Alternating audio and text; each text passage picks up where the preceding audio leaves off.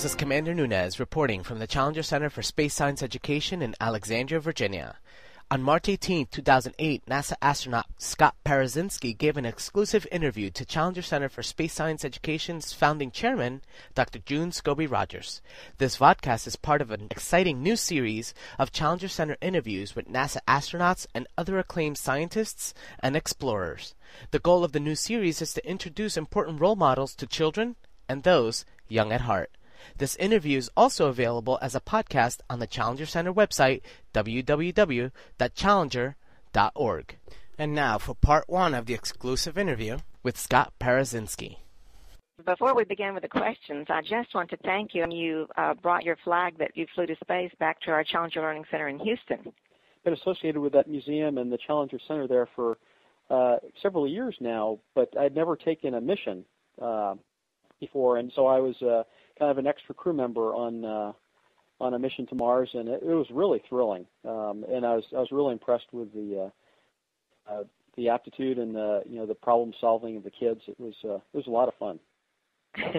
they all want to be astronauts like you, Scott. I think they'll be better than I was, but uh, they have a lot of a lot of talent for sure. We want to begin the series of uh, podcasts interviews by asking you uh, what you were first. You did something that everyone would be curious about, first of its kind. Will you tell us a little bit about when, when you flew and what did you do that was the very first? Well, first of all, let me just uh, uh, say thank you for inviting me to join uh, this podcast. I'm I'm honored to uh, be part of this uh, this series and to be included in the company of others that I I regard. Um, yeah, I, I've I've been very fortunate in my career to have flown uh, five times. I was selected in 1992, and uh, last fall I, I flew my my fifth and uh, probably my final uh, mission is into space. Uh, at least if you ask my wife, she'll tell you it, it was my last flight. but one of the things that uh, happened on the mission, it was a it was an incredible. We uh, had uh, a module that we were delivering in, in the space station. A lot of spacewalking work to do associated with that. And then another major activity was to relocate a, a large uh, array truss from the top of the space station out to the very end. And that in itself was probably another full mission's worth of content. Then we had a number of other activities, basically two other uh, spacewalks to do as well. So the baseline plan was to do five spacewalks on this mission and, and spend 14 or 15 days in space station. So it was a a wonderful challenge just going into it. Uh, however, uh, about uh, eight days as we had completed our relocation of the solar array truss, uh, and we were deploying the solar array panels at, at the very tip of the space station, a huge uh, uh, was formed as as tangled guide wires got caught and, and, ripped apart some of the kind of accordion-like panels on the on the solar array.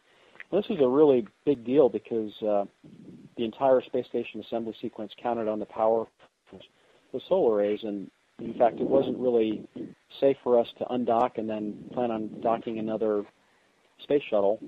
Uh, the next flights were to bring up international partner laboratories, and this was a, a huge ripple effect in the, the, whole space station program. And uh, so within 72 hours, brilliant people on the ground came up with a, a corrective action plan. They invented something that we, we now call cups to uh, stabilize the solar array and uh, develop special tools for me to go out and work on this still energized solar array panel. It had about 100 uh, volts of power um, going through the, the array as, uh, as I was out working on it. And we were going out to a place that had never you know, anticipated being a, an EVA work site. Uh, it was uh, a 90-foot boom using the, the space station's robotic arm, and then also our robotic inspection boom. And uh, it was really a, a dramatic uh, uh, experience to be out in a place that we never uh, planned on sending a, an astronaut, a suited astronaut, to go work. Really was treated with a, a God's eye view. Very fortunately, the tools that uh, I had with me and the and the cufflinks uh, all worked extremely well, and we were able to uh, cut a frayed wire and, and stabilize the solar array, and then uh, fully deploy it. So the whole assembly sequence of the space station kept back, and we were able to come back very, very successfully. So it was a, I think, a real triumphant moment for for NASA to come up with this and be able to execute it. We were all on the edge of our seats waiting for the evening news to hear about success of your uh, solar array repair. Um, you were a major hero. We were all watching uh, because we knew it was dangerous and we knew how important that effort was. Uh, were you ever afraid, like uh, we imagined that you must have been?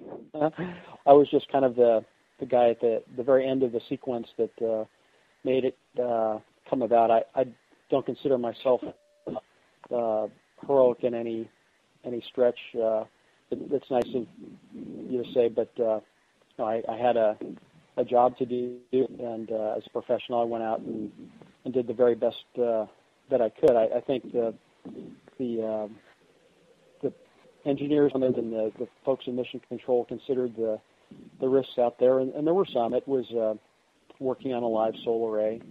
Um, it was further than we'd ever gone before, so an emergency bailout, if you will, was a little bit harder to um, to manage.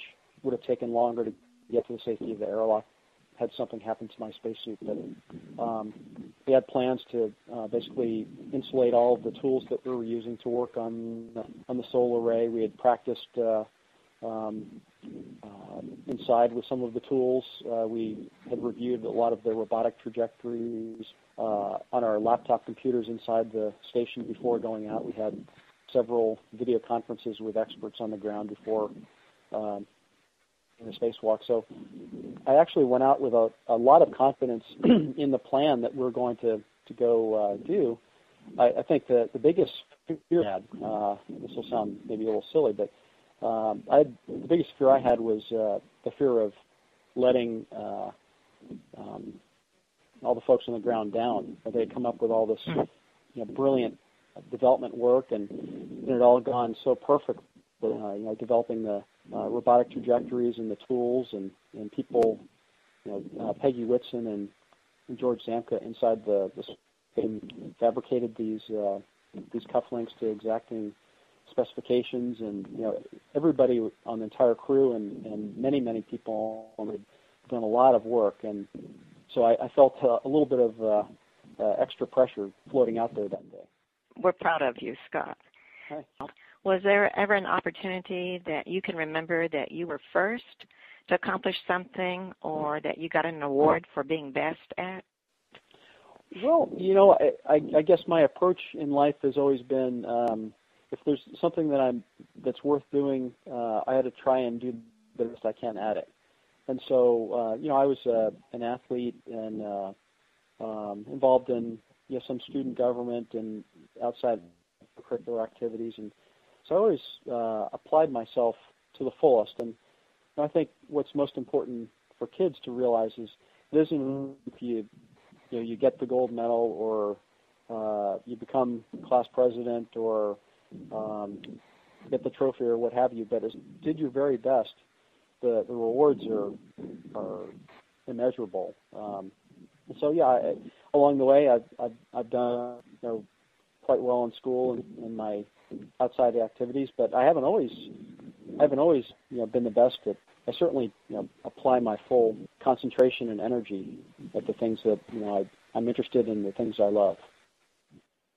And and like all of us, I assume that somewhere along the way you had failures or disappointments. And mm-hmm. students, I want to be aware that they, uh, um, when they look to someone like you as a hero, um, I think they assume that your ring in life has been perfect for you to arrive at this uh, time in your life. They would be well, interested to know that, that that's not always true. Yeah, that's that's so well said, June. You know, um, yeah, there there are uh, failures and, and uh, you come up short, um, and you just keep you get back in the game and you you try harder next time and and uh, you get rewarded for it. And even in failure, you know the things that you learn along the way um, are are fantastic, and the people that you meet, and uh, it opens up opportunities that you you can't even imagine. That I tell young folks all the time when I visit schools and you know places like the Challenger Centers. Um, it's it's important not only to make dreams, but to have the courage to make them come true. If you're not willing to um, work for them uh, and hold on to them, then they're certainly not going to. So you have to um, have to really apply yourself. You may not get your your ultimate dream, but uh, you know you sure will get uh, you know wonderful rewards in the long run.